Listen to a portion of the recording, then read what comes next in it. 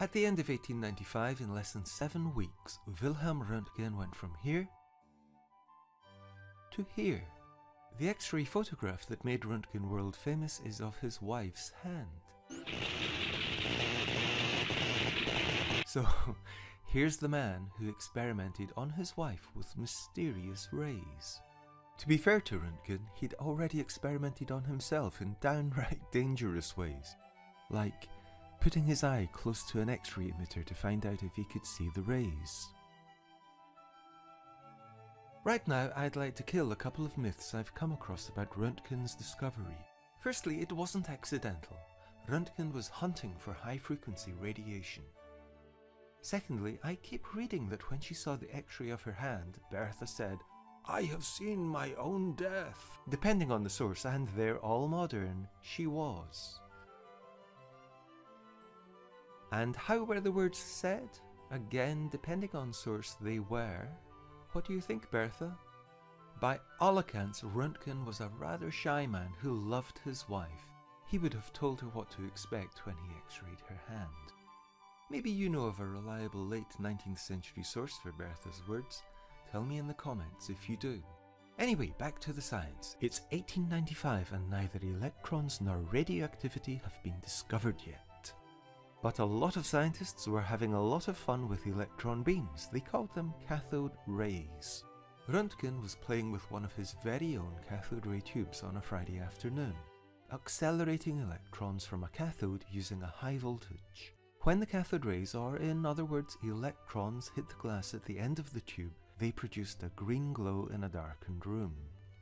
You can see the size of a cathode ray tube viewed end on in this photo taken in 1896, which I'll come back to later. Röntgen had seen the green fluorescent glow of cathode rays hitting glass many times before. Hermann von Helmholtz had urged Röntgen to hunt for high-frequency radiation in line with Maxwell's equations. Helmholtz had also urged Heinrich Hertz to seek electromagnetic radiation. Hertz had used high-voltage electrical equipment and found radio waves low-frequency electromagnetic waves. Röntgen hoped to use high voltages to find electromagnetic waves at high frequencies. To detect these theoretical rays he coated paper with small crystals of barium platinocyanide. These look yellow in visible light and fluoresce green, glowing in the dark when hit by cathode rays or ultraviolet light. Röntgen hoped, rightly, that the crystals would glow if higher frequency waves than UV hit them. On Friday, November 7, 1895, Röntgen had darkened his lab. He covered the cathode ray tube with darkened paper. He didn't want to see the glass glow. I'm tempted to add under his feet, but that would be too bad a joke, even for me. In the pitch darkness, he noticed a barium platinocyanide screen a metre away from the cathode ray tube was glowing. The glow couldn't be caused by cathode rays, they were contained within the tube. It couldn't be UV light, the room was dark and the tube was covered. Every time the high voltage caused cathode rays to flow in the tube, the barium platinocyanide glowed.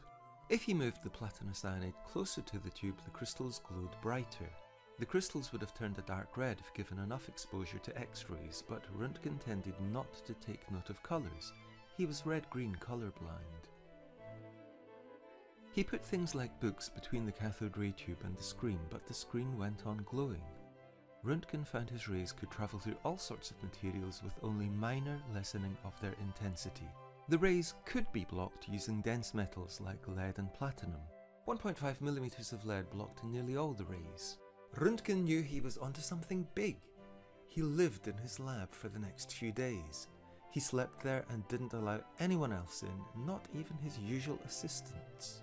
Then he saw something both wonderful and horrific. When he put his hand between the tube and the screen, he saw a shadowy image of the bones in his fingers. You don't need a photographic plate to see the effects of x-rays, you can see them live on a fluorescent screen. Poor Wilhelm Röntgen began worrying that he was hallucinating these skeletal images. Not surprisingly, Bertha noticed a change in his behaviour. The reply he gave his worried wife was hardly reassuring. Bertha told people later that she went through a dreadful time. On December the 22nd, just over six weeks after he first saw the crystal screen glowing, Röntgen took that world-changing X-ray photo of Bertha's hand. He could see it, she could see it. He wasn't going crazy. Here's what was happening.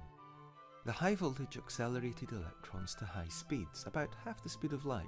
If an electron hitting the glass loses a lot of its kinetic energy in a single event, the energy is converted to an X-ray photon. Less than 1% of electron impacts made X-rays.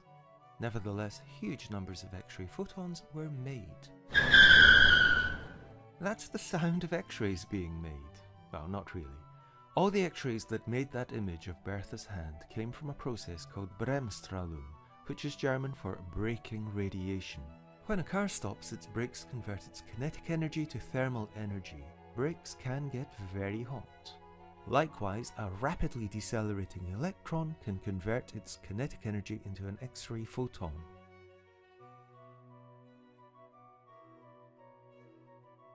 The electrons passing close to the nucleus of an atom, in this case in the glass end of the cathode ray tube, are slowed down rapidly by their attraction to the positive charge. The kinetic energy lost by the electron is converted to the energy of an X-ray photon.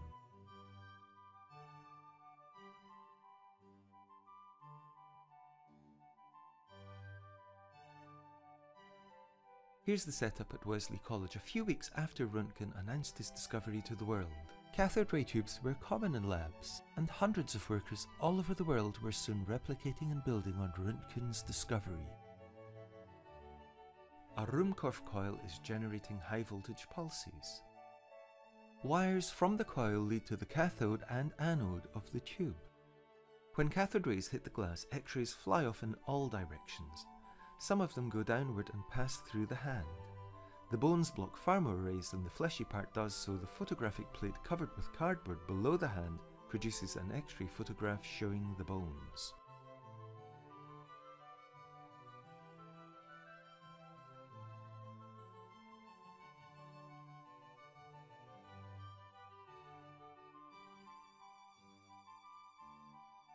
X-rays weren't limited to hands, of course. Here's an x-ray from just a few months after Röntgen's discovery.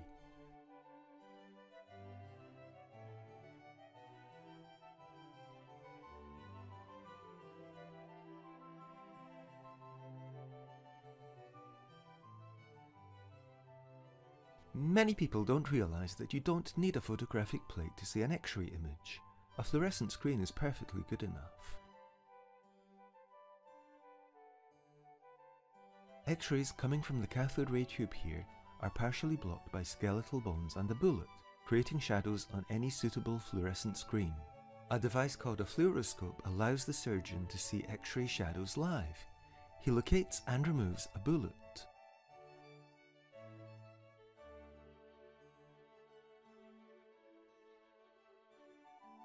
X-ray studies have taught us more about atoms and molecules than any other method. This is because the wavelength of X-rays is similar to the spacing of atoms in solids, which means X-rays are diffracted by solids. Here are spacings in a crystal of water. Within the molecule, the hydrogen and oxygen nuclei are about 10 nanometers apart. The oxygen nuclei are about 27 nanometers apart. These are ideal distances to probe with X-ray diffraction.